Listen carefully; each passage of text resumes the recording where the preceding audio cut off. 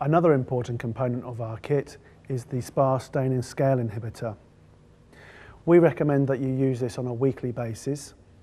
On SPA commission, that you're going to add 60 millilitres of this product per 1,000 litres, and as a weekly dose that you're going to use 30 millilitres per 1,000 litres.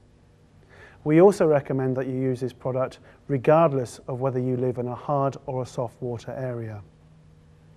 The reason for using this product is that in some parts of the country there is very hard water.